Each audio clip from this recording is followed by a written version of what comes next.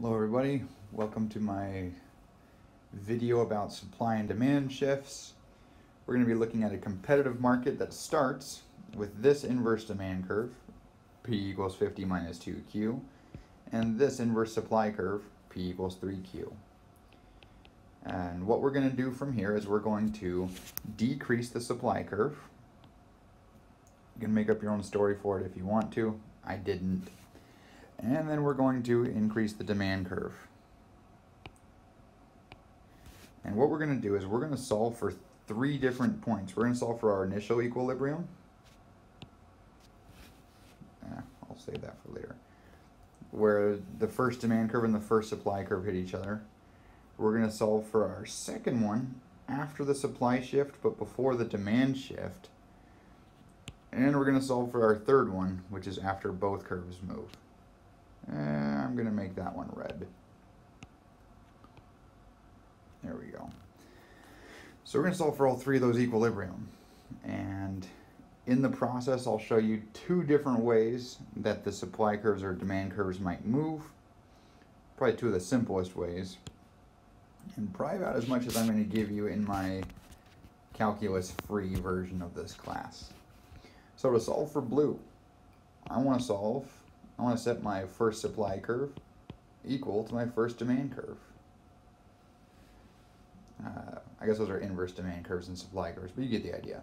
So, oops, 3q equals 50 minus 2q, 5q equals 50, q equals 10.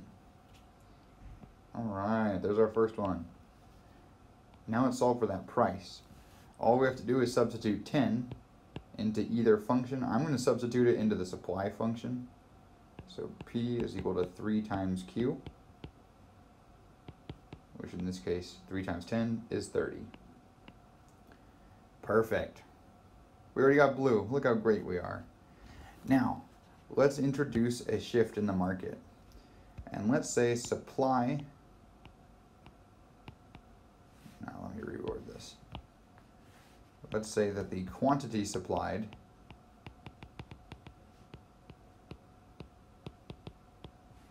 falls by 2 at every price. That's our supply cut. Now, unfortunately for you, it's not so easy as saying, look, the old equilibrium was 10, so the new one should be 8. You can't just subtract 2. Don't do that. It will not serve you well. Uh, yeah, we actually have to do some math here. We're going to solve for a new supply curve and see what the new equilibrium is. So let's get our new supply curve. Uh, well, we're changing the quantity, but our supply curve is currently measured in price as a function of quantity. So first thing we got to do is we got to invert it we know that PS1 is equal to 3QS1, which means 1 over 3 PS1 is equal to QS1. There, now we've got something where Q is a function of P. And so all I have to do, quantity falls by 2 at every price. That means QS2 is equal to QS1. So our new supply curve is equal to our old supply curve minus 2. So that's one third PS minus 2. And that is our new supply curve. Right there. So, now we can solve for equilibrium, except this is a supply curve, but our demand curve is an inverse demand curve.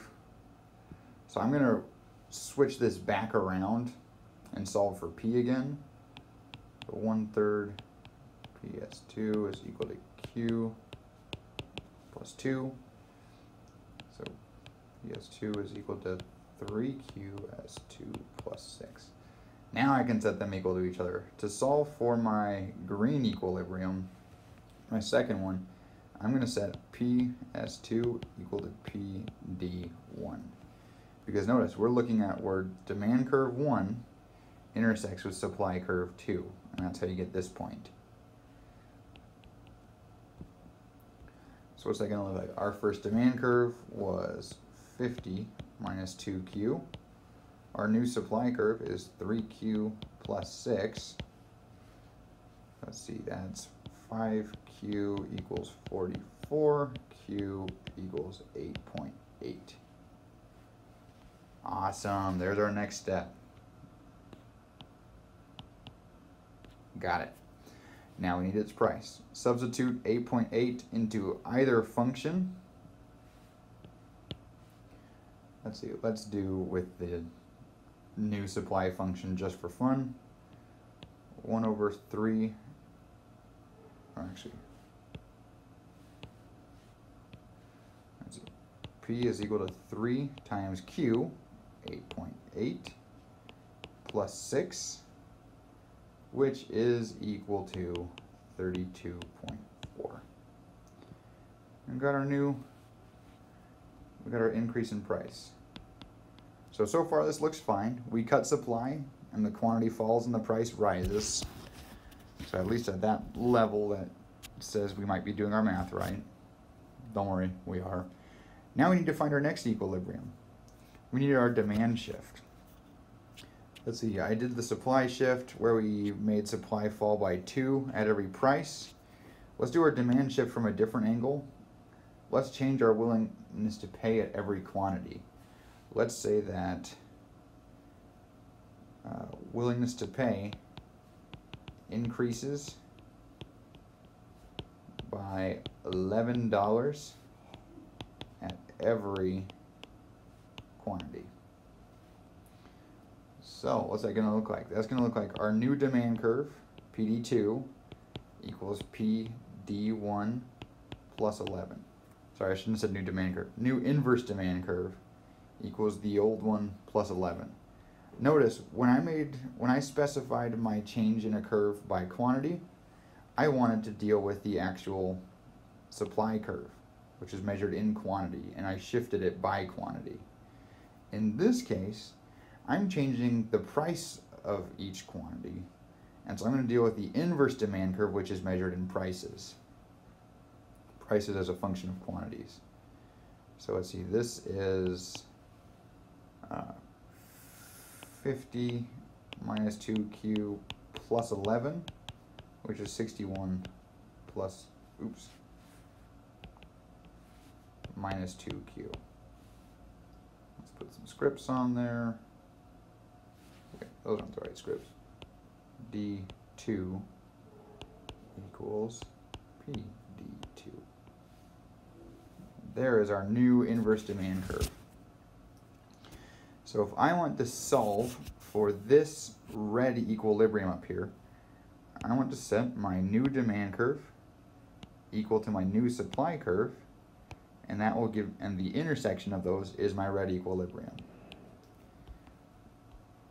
So PD2 equals PS2. Uh, let's see, that's 3Q plus 6 equals 61Q, oops, 61 minus 2Q. So 5Q is equal to 55. Q equals 11 and let's solve for the price that goes with it. I can substitute this into either curve. Let's go P equals 3 times Q plus 6 equals 39.